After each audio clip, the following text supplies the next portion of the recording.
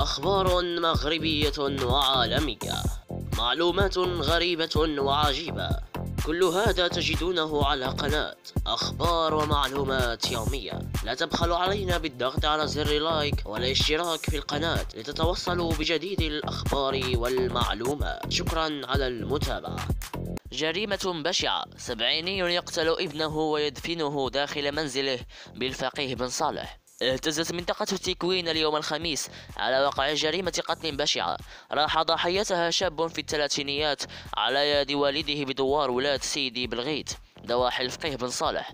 وحسب المعطيات المتوفرة لليوم 24 فقد أقدم الأب المشتبه فيه على قتل ابنه ودفنه في باحة المنزل في ظروف لا زالت غامضة. قبل أن يتم اكتشاف الجريمة من طرف عناصر الدرك الملكي بعد شكاية لشقيقة الهالك.